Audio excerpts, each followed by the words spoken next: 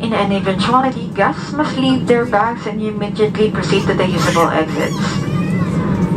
There are also fire extinguishers in the cabin. Operation of the device is indicated on the equipment itself.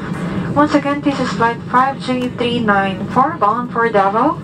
Welcome aboard.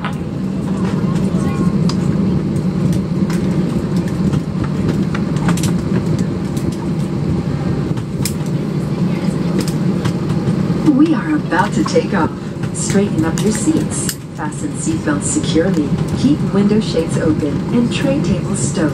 Voice communication with the use of mobile phones is prohibited while cabin doors are closed.